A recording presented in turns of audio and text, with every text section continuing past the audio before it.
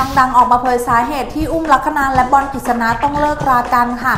ยเรื่องนอกใจไม่มีภรรยาคนไหนจะรับได้ค่ะ เป็นประเด็นที่หลายคนให้ความสนใจและก็จับตามองหนักมากๆค่ะ ในเรื่องความสัมพันธ์ของนักแสดงสาวอย่างอุ้มลักษณาและอดีตสามีบอลกฤษณะค่ะ ซึ่งทางสาวอุ้มค่ะได้มีการออกมาชี้แจงสถานะ พร้อมกับโพสต์รอยสักใหม่ทับข้อความอุ้มบอลค่ะที่แขนของเจ้าตัว และรายข้อความยาวผ่านทางอินสตาแกรมส่วนตัวค่ะ โดยมีใจความว่าทั้งคู่ได้จบความสัมพันธ์รักแบบสามีภรรยาลงแล้ว เหลือเพียงพ่อแม่ของลูกสาวเท่านั้น เมื่อทุกอย่างมาถึงทางตันไม่สามารถไปต่อกันได้อีก และคงไม่มีภรรยาคนไหนจะรับเรื่องแบบนี้ได้ โดยไม่ขอลงรายละเอียดค่ะ เรื่องราวในครอบครัวล่าสุดค่ะทางเพจดังได้ออกมาเผยถึงต้นตอและก็สาเหตุที่ทำให้ความรักของทั้งคู่นั้นต้องจบลงค่ะ โดยทางเพจบันเทิงช่อง 8 ค่ะได้ออกมาเผยถึงสาเหตุที่ทำให้ความรักของอุ้มบอลไม่สามารถไปต่อได้ โดยทางพิธีกรค่ะได้บอกว่าทั้งคู่เริ่มมีปัญหามาตั้งแต่ช่วงเดือนกรกฎาคมที่ผ่านมา บอลมีการนอกใจอุ้มจริง ๆ โดยไปคบกับคนใกล้ตัวในที่ทำงาน ซึ่งยืนยันว่าไม่ใช่ผู้จัดการอุ้มแน่นอน ทั้งคู่ทะเลาะกันมีปัญหากันบ่อย เป็นเรื่องปกติค่ะ โดยเริ่มแรกเนี่ยมีปัญหาในเรื่องของการทำหน้าที่ภรรยา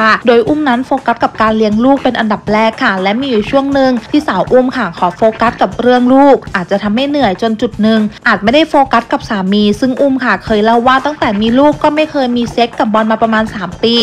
แรกๆค่ะสามีก็เข้าใจแต่หลังๆ ก็เริ่มเรียกร้องค่ะ แต่อุ้มเนี่ยก็ให้เหตุผลว่าเหนื่อยนะ เพราะว่าต้องเลี้ยงลูกทั้งวัน ส่วนปัญหาต่อมาค่ะ คือเรื่องของการเงินของครอบครัว เมื่อก่อนค่ะก็จะเห็นว่าทั้งคู่เนี่ยเปย์ของขวัญกันไปกันมา แต่พอลูกเริ่มโตขึ้นค่ะ ก็มีค่าใช้จ่ายมากมายเยอะขึ้นเช่นเดียวกัน ทางหนุ่มบอลเองค่ะ ไม่สามารถ support แล้วก็เปย์ภรรยาได้เท่ากับเมื่อก่อนแล้ว ซึ่งหนุ่มบอลเองค่ะ ก็เริ่มล้มตั้งแต่ช่วงที่มีเรื่องกับลูกผู้กำกับที่เชียงใหม่ค่ะ และต้องเอาเงินไปเคลียร์คดีเกือบ 10 ล้าน โดยปัญหาของทั้งสองเรื่องนี้ค่ะทั้งคู่ก็พอประคับประคองกันไปได้ แต่ว่าล่าสุดค่ะเมื่อมีปัญหาในเรื่องของการนอกใจสาวอุ้มก็รับไม่ได้ค่ะ จึงตัดสินใจแยกทางกับอดีตสามีตามที่เป็นข่าวออกมานั่นเองค่ะ แน่นอนว่าเรื่องของการเลิกลาของคู่รักภรรยาเป็นเรื่องที่ละเอียดอ่อนค่ะแล้วก็เรื่องการนอกใจถ้าเกิดขึ้นกับคู่ไหนก็คงไม่มีใครรับได้นั่นเองค่ะ แล้วก็เป็นกำลังใจกับแม่อุ้มด้วยนะคะสู้ๆต่อไปค่ะ และมีเรื่องราวมาอัปเดตเพิ่มเติมทางเพจบราเมาส์จะอัปเดตคุณผู้ชมได้รับชมอย่างแน่นอนค่ะ